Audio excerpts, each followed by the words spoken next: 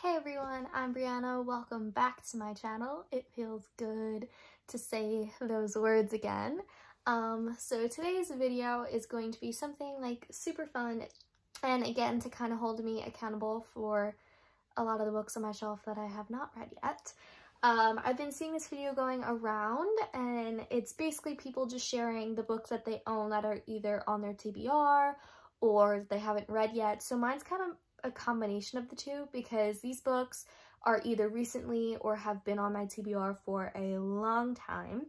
And these are also the books that I own on my main shelf that I haven't read yet. Um, but I wanted to do an update really quick. I ended up getting a new color in my hair.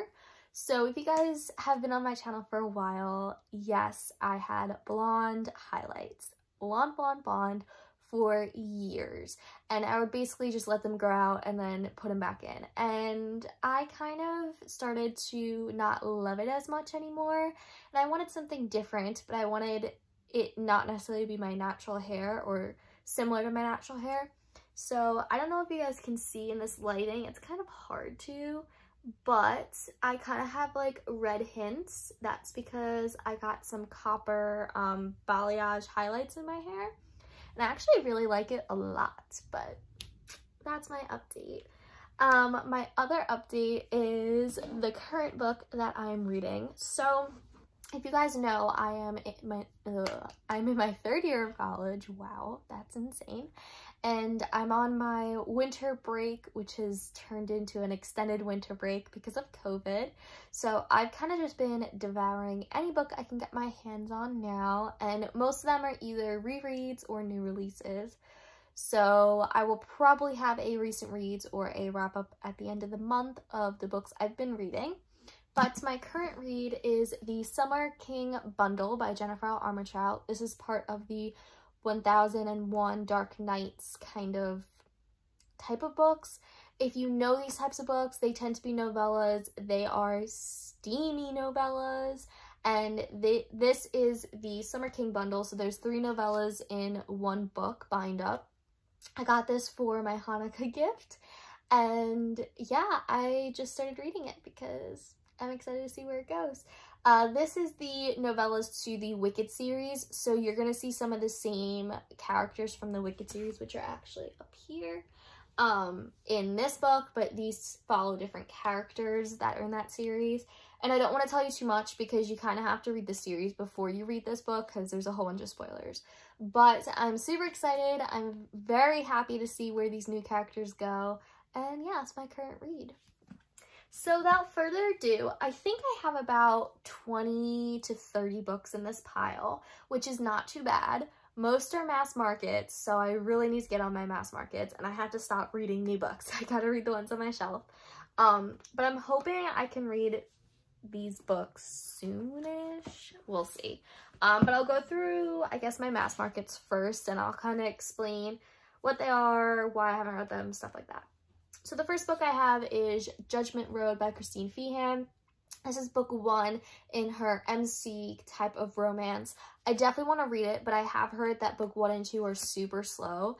And I'm not so much in the MC mood right now, but when I get a chance, I would definitely read these. I really, really enjoy Christine Feehan, and my mom absolutely loves her. So, yeah, definitely good to start this book.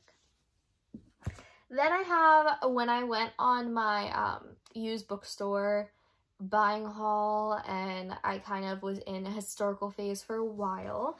I have a ton of historicals and paranormals here that I'm going to share with you. So the first one is Duke of Sin by Elizabeth Hoyt. I literally know nothing about this. I just really love the color of this book. The pink and the green I think go well. Um, there is a step back actually, which is actually really pretty. All I know is this is about a duke and it's a historical romance. That's it.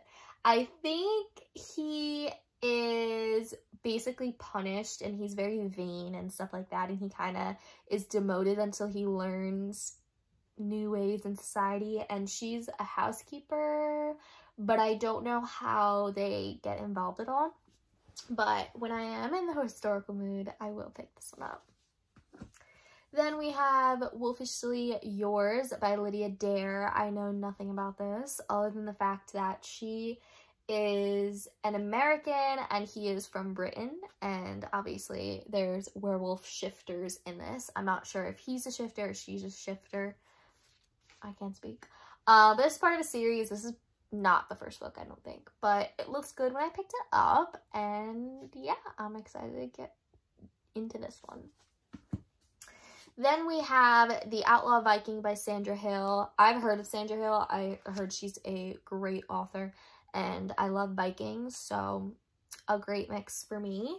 Um, again, I'm really excited. This one's really beat up. It's definitely a used book, but once I'm in the mood for historicals, I'll pick this one up. All my books are falling now. Then we have Never Trust a Pirate by Valerie Bowman. This is a pirate historical. I, again, I don't really know too much about these unless I read them on the back.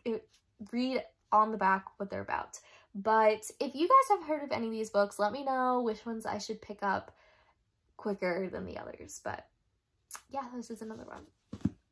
Then we have One Lucky Vampire by Lynsay Sands. This has been on my shelf forever, and I have yet to pick this one up, and I do not know why. Um, there's kind of a step back, but it's not really a step back. And obviously, it's about a vampire.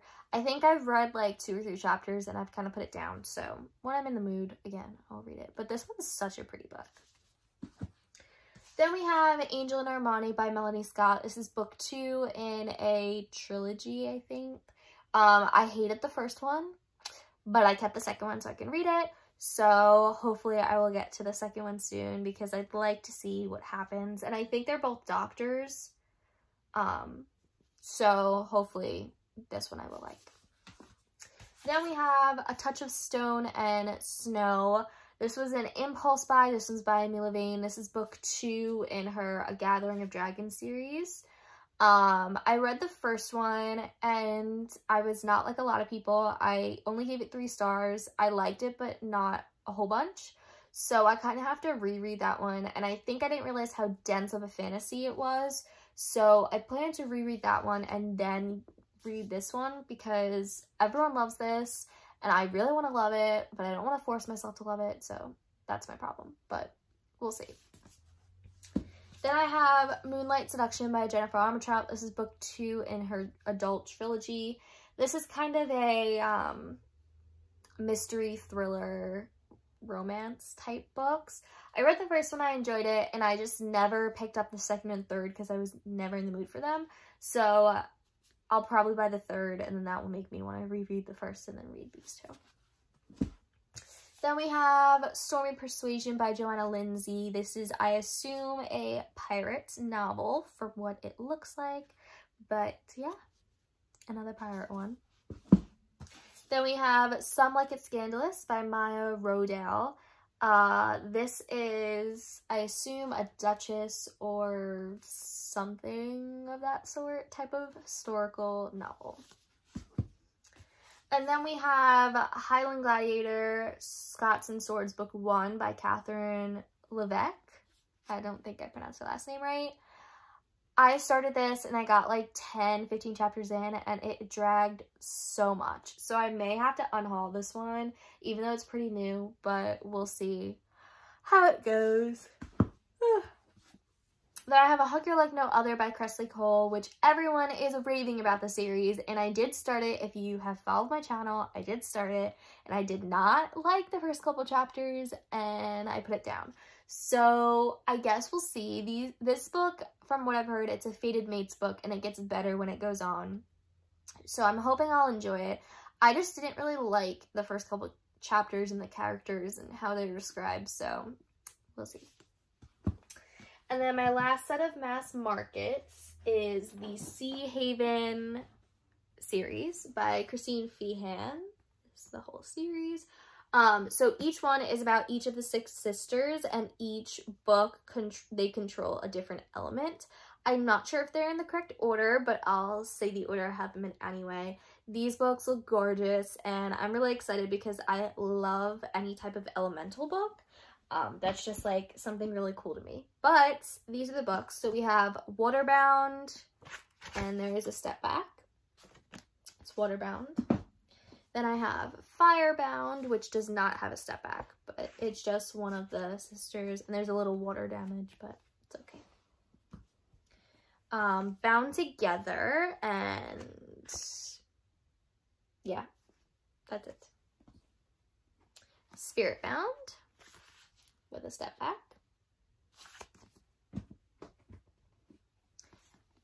Airbound with a step back. And then Earthbound, which is actually the best addition out of these with another step back. So those books I'm really, really excited to get into, but I feel like those I kind of have to read together. I did hear the first one is a little slow, so I think that's kind of why I've been hesitant to start them. But I think those are on the top of my to-do reading list, or TBR, I would say. Next, we have Misadventures with a Country Boy by Elizabeth Hayley. This one's super short, so I will probably be reading this sometime soon. I don't remember why I haven't read this one, honestly. Um, but this is part of the Misadventure series. I love this series. Super quick reads. All different authors write them. Really, really good. But yeah, this one's obviously about a country boy. Then I have A Heart So Fierce and Broken by Brigid Kemmerer. So this is book two in the A Curse So Dark and Lonely series. I read A Curse So Dark and Lonely two years ago, but I don't remember anything about it. And I actually lent it out to one of my friends to read. So once I get that back, I'm going to read the first book and then read this book. But this is kind of a Beauty and the Beast retelling, and I heard the second book is so good. So I kind of want to read the first book as soon as possible or reread it so I can read this one. Then I have Letters to Nowhere by Julie Cross, which I did start this summer if you watched my vlogs earlier. Um, I put it down to go to school and then I never picked it up again. I don't know if I'm going to unhaul this one yet or not, but I kind of want to read it first and try it out and then unhaul it if I don't like it afterward we have four more books left. So the next book is Scarlet Letter by Nathaniel Hawthorne. Um, my boyfriend actually got this for me last year. I don't know if it was a Christmas or birthday present, um, but I expressed wanting to read this book, and I actually have not read this one, surprisingly. Um, this is a, a classic, I would say, and I love the concept behind it, and I really, really want to read it. So, but this one, because it's like a heavy literature, that's what I would consider it, it's going to take me a little bit to read because there's a lot to process through it. So I kind of have to be in the right mindset and I don't want to read it quickly and rush through it. So this one I feel like either I'm going to read this break or I'm going to wait till summer and kind of jump into it. But I am excited to get into this one. Next we have The Tourist Attraction by Sarah, literally don't know how to pronounce last name because the Target sticker is covering it. This one I started and I wasn't the hugest fan of it. Um, but possibly I'll pick it up again. I got a big chunk of the way through. Um, I lied. I got up to chapter five. so I got 100 pages in. Um, if you could see that. So I'll either pick it up again and try it or not. But this is a touristy Christmas type book in Alaska. Um, but we'll see if I pick it up. The next book I have is Lethal by Cassandra Rollins. Yes, this has been on my shelf for years, and yes, I have not read it yet. This is a MC romance book, and this is book one in the Disciple Disciples series. Wow, I can't speak today. Um, so again, we'll see if I pick it up soon. Honestly, I think I ruined myself for MCs because nothing will beat the Hades Hangmen series ever. And when I started with that, I kind of just destroyed myself for any other MC book, but it's fine. And the last book I have that I have not read yet is Crush the King by Jennifer Estep. This is book three, and I think it's the last book so far. It's been published in a high fantasy uh, adult series. I read book one and two this summer, and I really enjoyed them, so I hope to read book three soon. I don't really remember the details of one and two, so hopefully I can jump into book three without reading them. But again, hopefully I'll get to this soon. But those are all the books on my shelf that I have not read yet, and I'm actually really proud of myself. I thought it was going to be heaps and piles and just a lot of them, but there hasn't been. Um, but I will probably be holding off some of these books later because of the books that I will poss possibly be getting for Christmas for gifts. Uh, but other than that, I hope you guys are having a wonderful day and I hope you guys enjoy this video and I'll see you guys next time. Bye!